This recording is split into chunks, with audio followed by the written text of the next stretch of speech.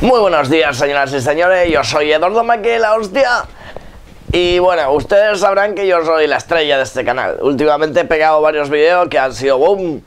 Y pues me han dado varias tareas. Entre ellas, la nueva tarea es entrevistar gente. Y en esta oportunidad me ha tocado entrevistar, pues, que al otro, al dueño de este canal, una persona que no será, que simplemente ha puesto el nombre ahí, Magnum Manifiesto, arriba del canal, y luego todas las personas que trabajamos aquí tenemos que hacer el trabajo duro, pero bueno, hostia, joder, como es el jefe, él es el que pone, ¿no?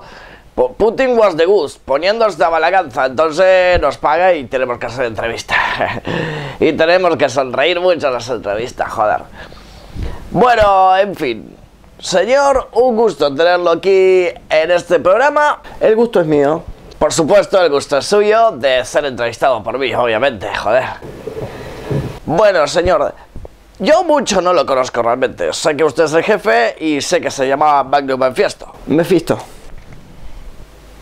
Ah, disculpe, sí. Es que me lo han escrito medio mal, entonces es como que me equivoqué un poquito. Discúlpeme. Bueno, pues Magnus Mephisto, entonces. ¿Me podría decir, señor, qué significa vuestro nombre? Magnus significa poderoso y Mephisto es un demonio. Demonios. Usted habrá querido decir alienígenas. No, demonio. Pues mire, señor mío, los, los demonios debo decirle que no existen. Los que existen son los alienígenas. Son habitantes de otros planetas que han venido aquí desde tiempos inmemoriales. Han venido a, transmitirnos vuestros, sus conocimientos, joder. A enseñarnos a hacer pirámides, a cosas muy útiles como los tótems de... Sí, está bien. La producción me está diciendo que me estaba yendo por las ramas, así que seguiremos con la entrevista entonces. Bueno, señor, entonces Magnus Menfiesto, el demonio más poderoso. Hostia, que eres cojonudo, tío. Qué tipo cojonudo, señores. ¿Me podría decir qué edad tiene usted, señor? 27 años. Ah, 27. Disculpe, ¿a usted ha oído hablar del Club de los 27? Sí, escuché eso. Ah, pues yo que usted tendría un poquito de miedo, porque mire que mucha gente, muchos famosos, pues sacando que usted no es muy famoso, pero famosos se han ido a los 27 años a mejor vida, así que yo que usted miraría para ambos lados a cruzar la calle, joder. ¿No? Lo haré, lo haré. Disculpe, bueno, en fin. Usted me han dicho que hace rap. Rap, música de Rack, rap, rack, rap. Pues que a mí me dice aquí dice que es rack. Es, se pronuncia rap. Música de, negros, ¿no? del Bronx. ¿Usted le gusta el Bronx? Nunca estuve en el Bronx, no sabría decirle. Pues por supuesto, ¿a quién no le gusta el Bronx? Y dígame, ¿cuál es su cantante favorito? Eminem. Ah, mire, casualmente por aquí hay un par de pósters de este, de este niñato. Claro, porque este es el cuarto del muchacho, entonces obviamente que tiene los pósters de su ídolo. Claro, en vez de tener pósters de señoritas, no, es muy afeminado, pues tiene pósters de Eminem. Este muchacho, yo la verdad que yo no lo entiendo mucho. Entonces Eminem, perfecto. Me han dicho usted, señor, que usted no, no, no vive de lo que es YouTube, ¿eh? de, la, de la música tampoco. No, no. No, pues por supuesto. ¿Y quién va a pagar por verlo usted, señor? Dígame, ¿usted trabaja? Sí, trabajo. ¿En dónde es que trabaja? Mundo del Juguete del Alto Avellaneda. ¿Y los niñatos pueden ir a visitarlo a su local? Sí, pueden venir. Ah, y su jefe no dice nada por esto. Ya está acostumbrado. Qué cosa extraña. Dígame, señor, ¿a usted le gusta el porta? A un, dos o tres temas. Es verdad que usted, usted hizo un video burlándose de porta. Fue una parodia. No, a mí no me vengan con que son parodias. Eso fue una burla. No, eso fue una burla. Fue una parodia. No, eso fue una burla. Yo, yo lo conozco a usted. Usted es el que. Ah, yo soy inocente. Eso fue una parodia, simplemente. Ah, eso, eso lo dicen para que después no vengan los fans de Porta a insultarlo. Yo lo conozco. Este tipo, este tipo se cree que yo soy idiota.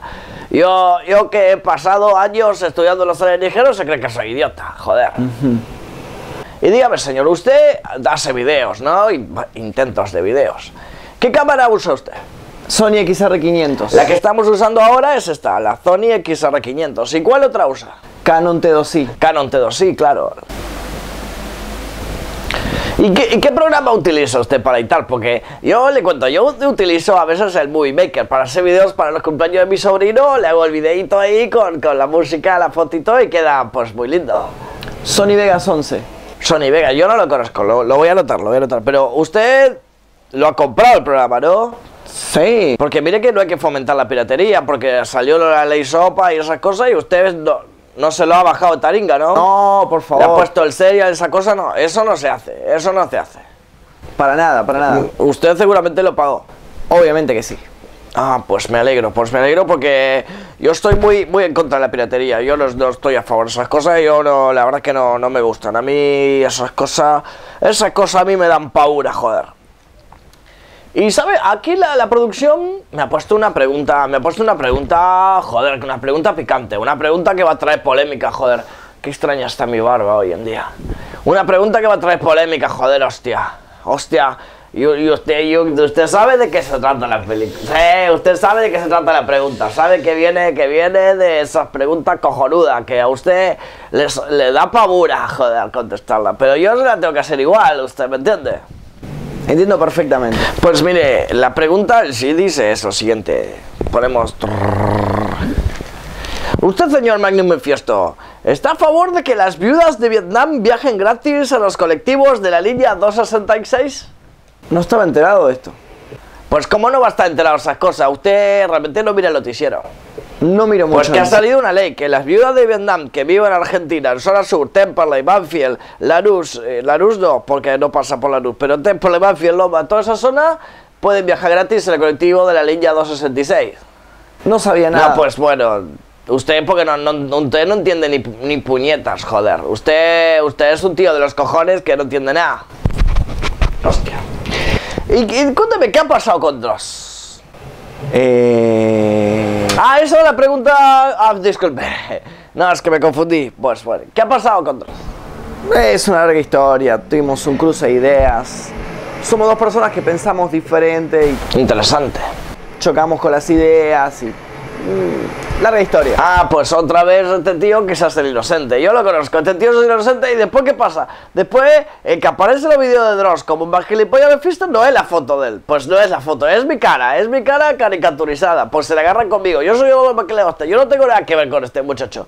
¿Y qué pasa? Ponen mi cara, porque se desinforman, se, creen que yo soy la misma persona y nada que ver. Entonces se le agarran conmigo. Usted, usted, usted, señor Magnum Mephisto, la verdad que me, me ha cansado. Me ha cansado porque Ah, mira después se agarran conmigo, se burlan de mí y viene la familia mía de tengo la. Andalucía y me dice, ah, pues te hemos visto en un vídeo de Dross que has salido ahí más gilipollas. Yo no soy más gilipollas, yo soy Eduardo Manquela, hostia. Tenemos dos, son dos cosas totalmente diferentes. Y usted, uh, todo es culpa, tío. Todo es culpa tuya, tío. Todo es culpa tuya, tío. No, tío, No tú me vas a escuchar. No, tú, tú me vas a escuchar, No, tío. no, hostia, venga, tú me